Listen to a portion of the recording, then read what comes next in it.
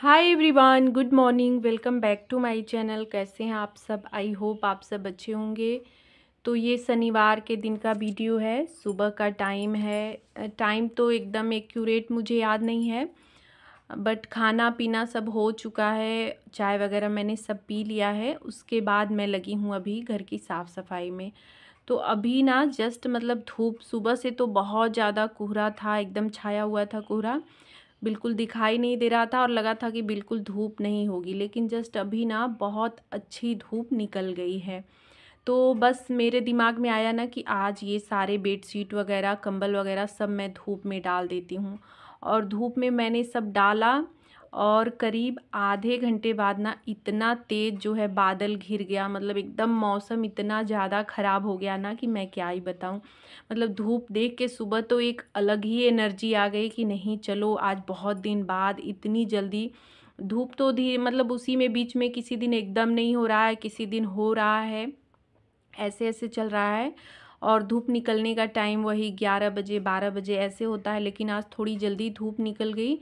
तो जैसे लगा ना कि बहुत दिन के बाद आज अच्छी धूप निकली है तो बहुत अच्छा लग रहा था और कैप वगैरह सब मैंने निकाल दिया। ये भी ना पहने पहने स्वेटर वगैरह जैसे एकदम शरीर ना बंधा बंधा सा लग रहा है। जैसे लग रहा है कई दिन हो गया है, शरीर हमारा खुला ही नहीं है, ढीला ही नहीं हुआ है। स्वेटर, इनर सब कुछ मतलब पूरा शरीर पे पूरे दिन जो है हम पहने रहते हैं। तो बस मैंने वही कैप वगैरह निकाल दिया था, सॉक्स सब कुछ निकाल दिया था, लेकिन आधे घंटे बाद ना इतनी ठंड लगने लगी थी। लेकिन सफ़ाई में लग गई थी तो फिर हुआ कि चलो अब लग गई हूँ काम करने में तो काम कर ही लेती हूँ। तो बस यहाँ पे जो बेडशीट बिछाया था इसके नीचे ना उसको साफ़ करने के लिए निकाल दिया है और जो गर्म वाला बेडशीट था ना उसको धूप में सिर्फ़ डाला है, क्योंकि अभी मैंने उसको साफ़ किया था। तो जल्दी जल्दी मैं गर्म वाले बेडशीट नहीं साफ़ करती हूँ।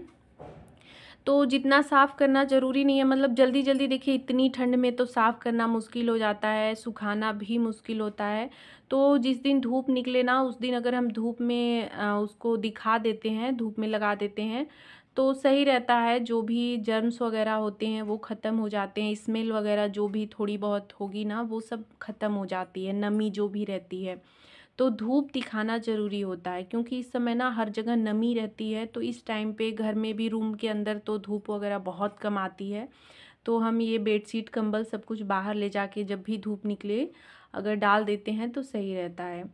तो बस मैंने वो सब किया, पोछा, ये सब जो है बेड वगैरह जो भी धूल गंदगी पड़ी थी, और बहुत दिन के बाद आज विंडो को भी पोछा है। बहुत ज़्यादा धूल वगैरह तो थी नहीं, क्योंकि ढका ही, खुलता ही नहीं है, बिल्कुल नहीं खुलता है जो है।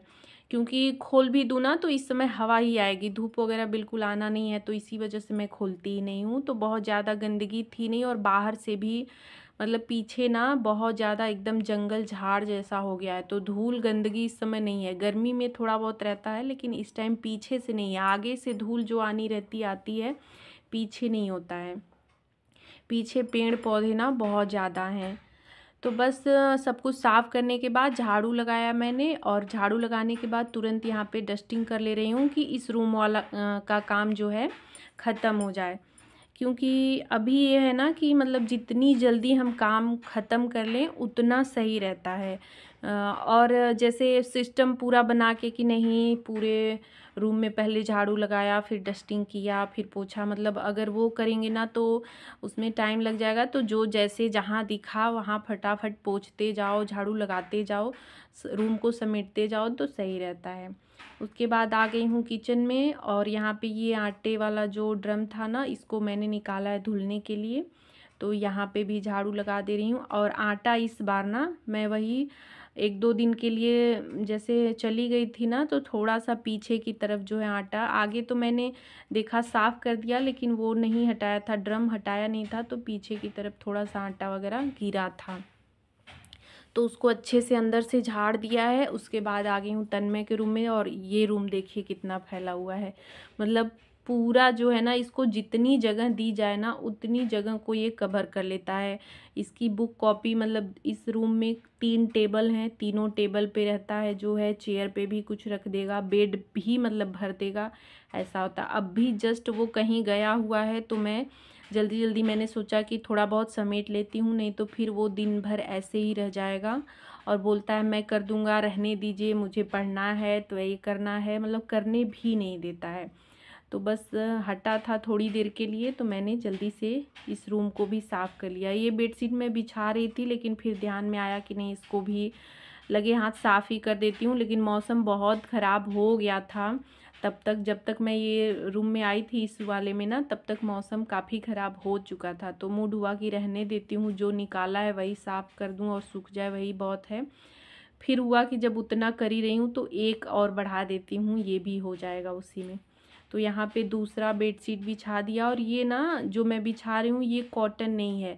तो इसके ऊपर कंबल बिछाना है तो इस वजह से मैंने सोचा ना कि ये अंदर रखा हुआ था, लेकिन आज मैं बिछा दी कि ऊपर कंबल ही बिछाना है तो नीचे थोड़ा बहुत ये पॉलिस्टर वाला भी चल जाएगा।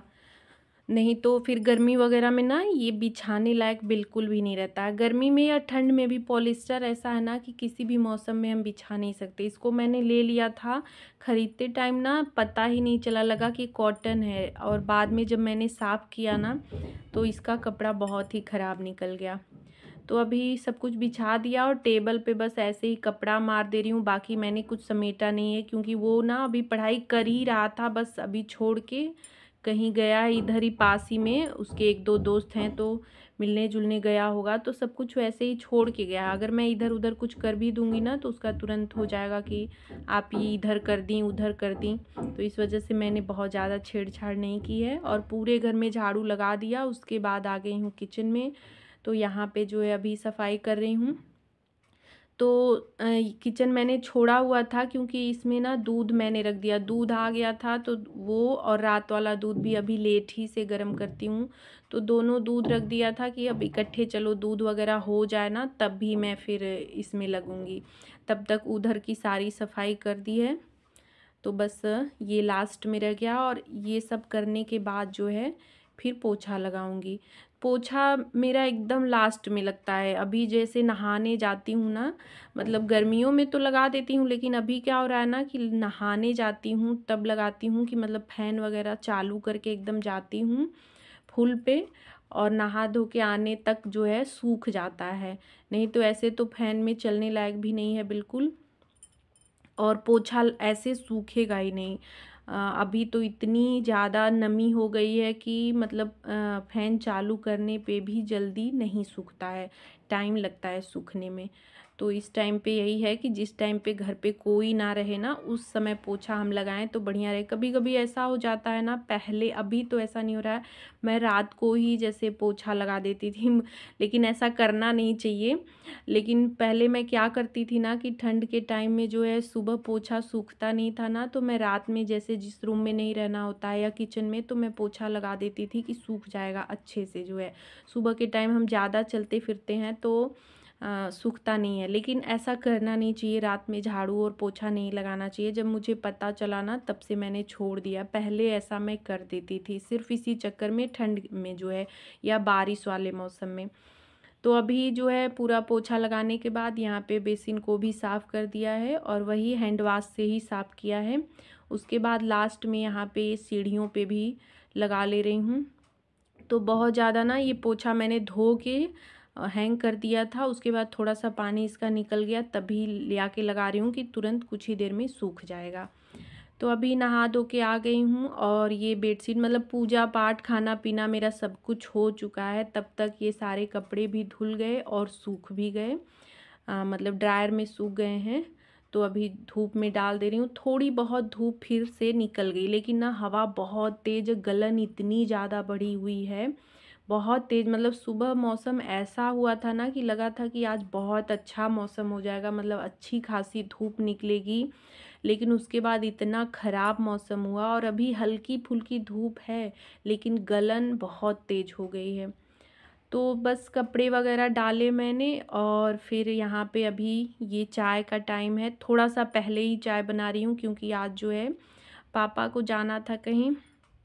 कहीं निमंत्रण था खाने का, शादी वगैरह में जाना था तो थोड़ा सा पहले ही जा रहे हैं तो नाश्ता मैं बना के दे दे रही हूँ कि खाना पीना तो रात को मिलेगा तो खा के जाएँगे ना तो सही रहता। उनको ना जैसे बहुत समय समय से उनको भूख लग जाती है, उनका टाइम, जितने टाइम उनको खाना खाना होता है, जितने टाइम उनको चाय चाहिए, एकदम एक्यूरेट उसी टाइम पे उनको चाहिए, वो कहीं भी रहे।